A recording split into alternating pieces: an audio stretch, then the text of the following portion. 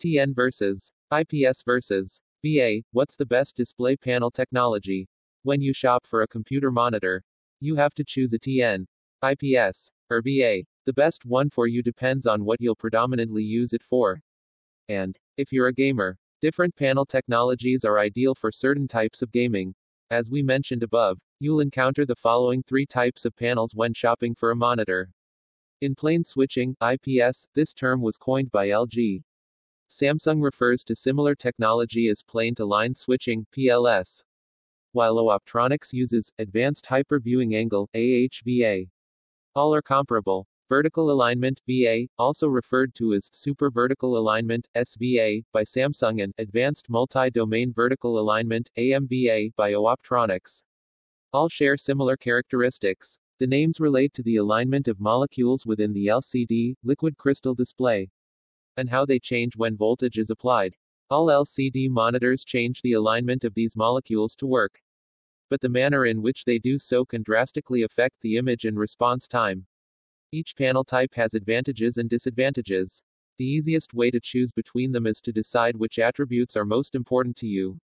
This largely depends on what you use your computer for, and how much you have to spend. If you use your computer for a lot of things, like office work, programming, video and photo editing, or playing games. Making a decision might be a bit tougher. TN panels were the first mass-produced flat-screen monitors. They helped make the bulky cathode ray tubes, CRTs, a thing of the past and are still being produced in large quantities today. While newer panels are always better than their predecessors, TN display technology still suffers from some notable drawbacks. One is its limited viewing angles, particularly on the vertical axis. It's not unusual for a TN panel's colors to invert completely when you view it from an extreme angle. Its color reproduction also isn't that strong. Most TN panels are incapable of displaying 24-bit true color and instead rely on interpolation to simulate the correct shades. This can result in visible color banding and inferior contrast ratios when compared with IPS or VA panels. Color gamut, the range of colors a monitor can display, is another area in which TN panels often fall flat. Only high-end TNs can be considered wide gamut, meaning they display the entire sRGB spectrum. Many fall short of this target, though, which makes them unsuitable for photo editing, color grading, or any other application for which color accuracy is essential. So, why would anyone ever buy a TN panel?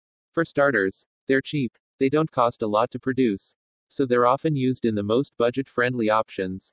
If you don't value color reproduction or need excellent viewing angles, a TN panel might be fine for your office or study. TN panels also have the lowest input lag, typically around 1 millisecond. They can also handle high refresh rates of up to 240 Hz.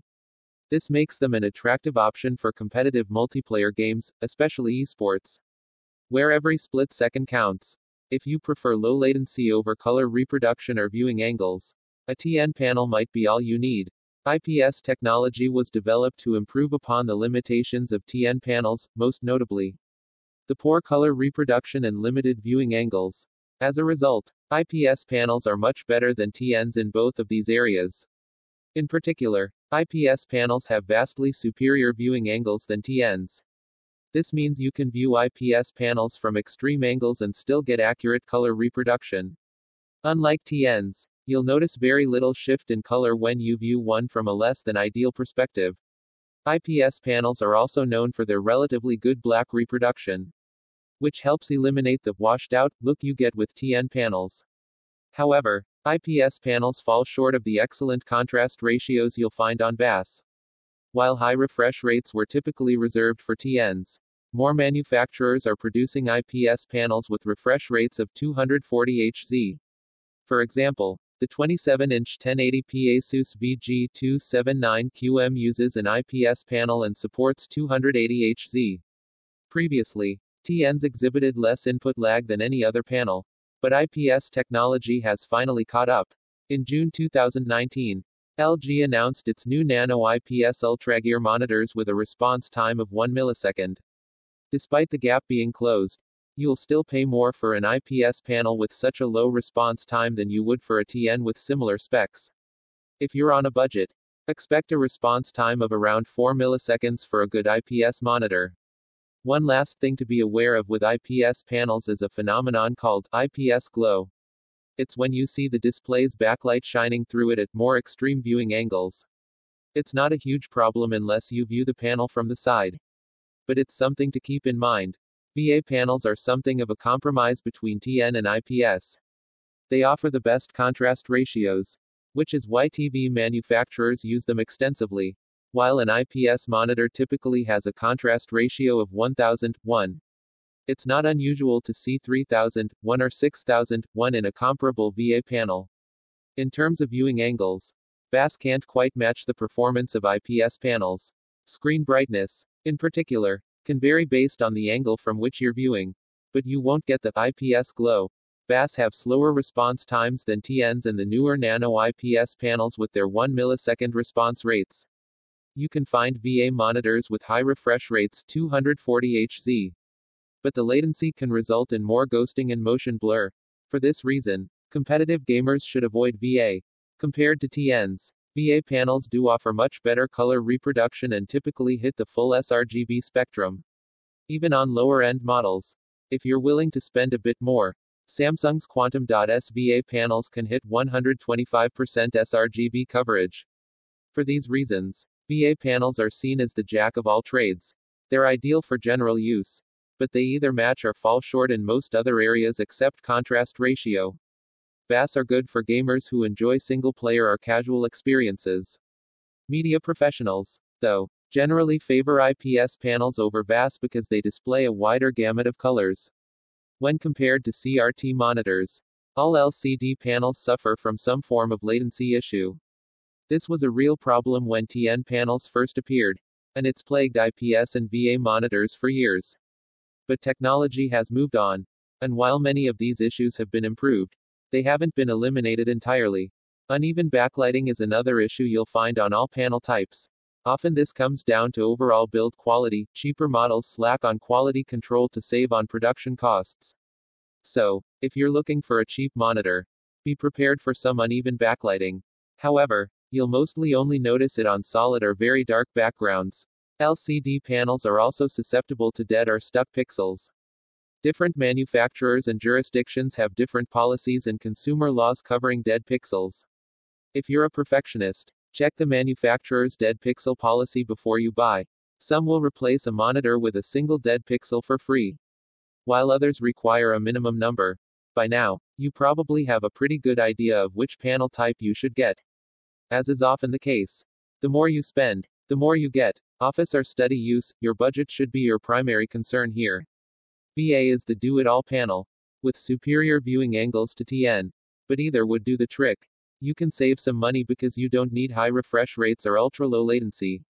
They're still nice, though. You'll see a noticeable difference in smoothness just when moving the Windows cursor on a monitor with a 144 versus 60 Hz refresh rate. Photo and video editors, digital artists, IPS panels are still generally favored for their ability to display a wide gamut of colors. It's not unusual to find VA panels that also cover a wide gamut, 125% sRGB, and over 90% DCI-P3, but they tend to exhibit more motion blur during fast-paced action than IPS panels. If you're serious about color accuracy, you'll need to properly calibrate your monitor. Programmers who mount monitors vertically, you might think TN panels are great for programmers. But that's not necessarily the case. TN panels have particularly bad viewing angles on the vertical axis. If you mount your monitor in portrait mode, as many programmers and mobile developers do, you'll get the worst possible viewing angles from a TN panel. For the best possible viewing angles in this scenario, invest in an IPS display. Competitive online gamers, there's no question TN panels are still favored in the esports world. Even the cheapest models have fast response times and support for high refresh rates. For 1080p gaming, a 24 inch will do just fine. Or you could opt for a 1440p, 27 inch model without breaking the bank. You might want to go for an IPS panel as more low latency models hit the market. But expect to pay more. Non competitive, high end PC gamers, for a rich, Immersive image that pops. A VA panel will provide a higher contrast ratio than IPS or TN. For deep blacks and a sharp, contrasting image, VA is the winner. If you're okay with sacrificing some contrast, you can go the IPS route. However, we'd recommend avoiding TN altogether unless you play competitively. Best all rounder, VA is the winner here. But IPS is better in all areas except contrast ratio. If you can sacrifice contrast, an IPS panel will provide fairly low latency, decent blacks, and satisfactory color coverage. As you probably know, you can usually get a monitor cheaper online than at a brick and mortar store. Unfortunately, buying online also usually means buying blind. And with a TV or monitor, that can lead to disappointment. If you can, check out the monitor you're interested in in person before you buy it. You can perform some simple ghosting and motion blur tests by grabbing a window with the mouse and moving it rapidly around the screen. You can also test the brightness, watch some videos, and play with the on-screen display to get a feel for it. If you can't do any of these things, online reviews are always helpful. But beware of fake reviews on sites like Amazon. Text source, howtogeek.com.